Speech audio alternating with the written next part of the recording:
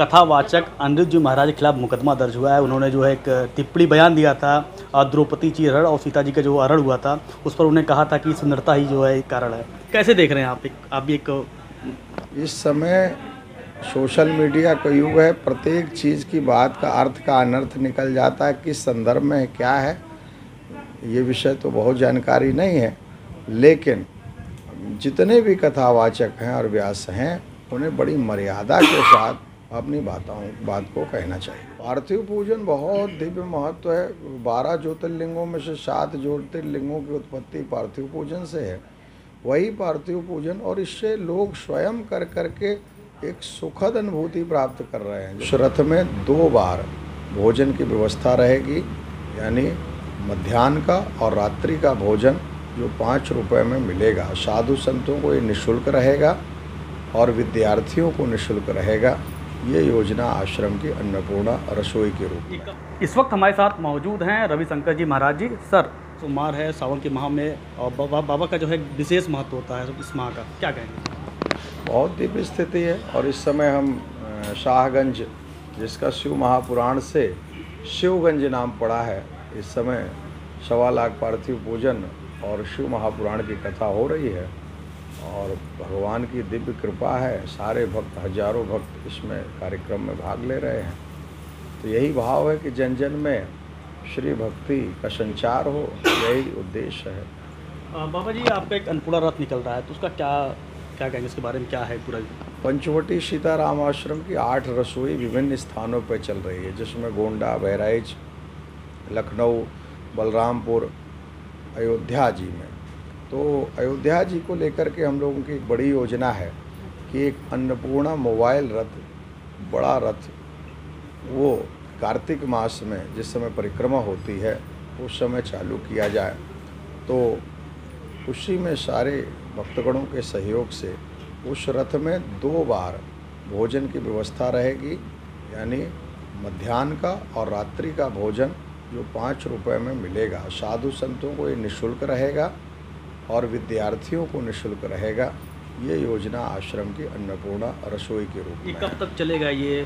क्या प्रतिदिन चलेगा? हाँ ये नवंबर से प्रतिदिन चलेगा। बारह मासी प्रतिदिन रोज दो समय मध्यान्ह और सायंकालीन कहाँ कहाँ भ्रमण करेगा?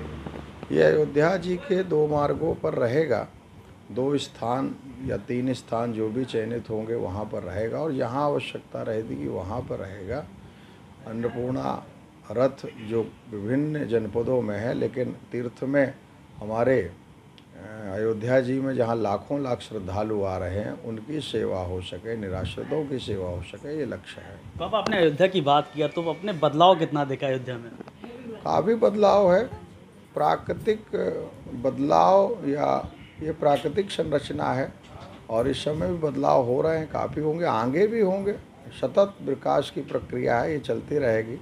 आध्यात्मिक नगरी है धर्म नगरी है तो बदलाव तो बाबा आज हमने देखा काशी विश्वनाथ की तर्ज पर यहाँ पे रुद्राभिषेक हुआ भस्म की आरती हुई गुलाल आरती हुई तो क्या महत्व है इसका क्या विशेषता है? पार्थिव पूजन बहुत दिव्य महत्व है। बारह ज्योतिर्लिंगों में से सात ज्योतिर्लिंगों की उत्पत्ति पार्थिव पूजन से है। वही पार्थिव पूजन और इससे लोग स्वयं कर करके एक सुखद अनुभूति प्राप्त कर रहे हैं। जैसे हम कथा में बताते हैं तो वो तो थ्योरी हो गई आपकी। लेकिन प्रैक्टिकल कैसे होगा? जब व्यक्ति स्वयं करेगा, उसका क्या अनुभव है, वो जानेगा। धार्मिक पक्ष से बड़ा दिव्य है भगवान के ये अष्ट मूर्तियों में से दिव्य मूर्ति का ये पूजन माना जाता है और जो सभी भक्तों को बहुत लाभप्रदक है। बाबा जी, एक आखिरी सवाल।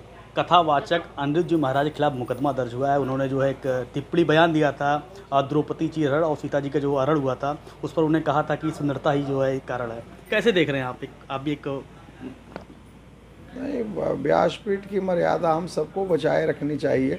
व्यास का अर्थ होता है बहुत, किसी भी चीज़ को बहुत सुंदर तरीके से प्रस्तुत करना और टिप्पणियों से बचना चाहिए। मूल भावना हमारी संस्कृति का प्रचार प्रसार हो, ये मूल भावना है। और इस समय, ध्यान दीजिएगा, इस समय सोशल मीडिया का युग है, प्रत्येक चीज़ की बात का अर्थ का अनर्थ निकल जाता है, किस संदर्भ में क्या है, ये विषय तो बहुत जानकारी नहीं है। लेकिन जितने भी कथावाचक हैं और व्यास हैं, उन्हें बड़ी मर्यादा के साथ अपनी बातों बात को कहना चाहिए। और बिल्कुल, ये हमारे साथ महाराज जी, इनका कहना है कि सावन माह में भोलेनाथ के दरबार में हाजिर लगाने के बाद सभी मनोकामना पूरी होती हैं। जौनपुर से विवेक कुमार